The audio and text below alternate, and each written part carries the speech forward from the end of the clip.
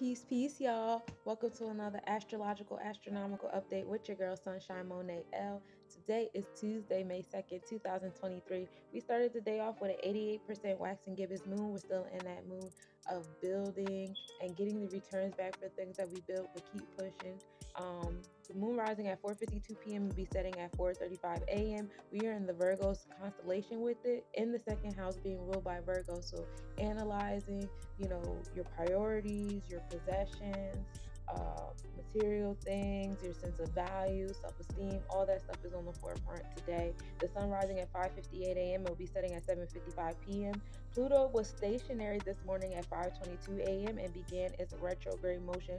We are officially in the Pluto retrograde, y'all. The moon and Porrima are at minimal angle today at 8:26 p.m. The moon will be one degree southwest. Conjunction occurring at 10:33 p.m. where the moon will be 1.3 degrees south, and we'll be able to observe that at 8:46 p.m. with a one degree south southwest separation.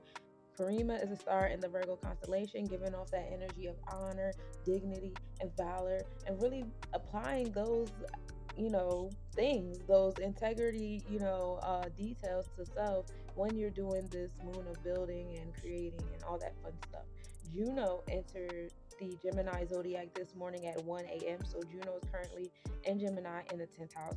Pallas entered the Leo zodiac at 12:55 p.m. So Pallas is currently in Leo in the 12th house, and then Venus enters the Gemini constellation at 11:22 p.m. tonight.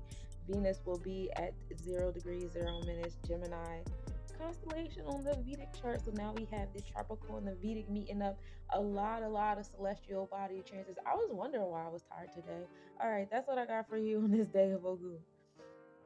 Welcome to the day of Ogun, y'all. Ogun not only rules over Tuesday, but rules over your solar plexus chakra, where your will and your courage and confidence is located. And while our planets are up there playing musical chairs, we're down here focused on our solar plexus chakra, where we have Chiron turning our wounds into a superpower, Aries the, tapping into that rebellious energy to do so, and Jupiter bringing that masculine energy and allowing it to affect our pinnacles and wisdom.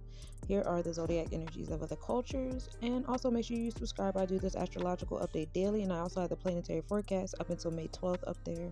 And this is what to have on your altar during Taurus season on a Tuesday and under this moon of building.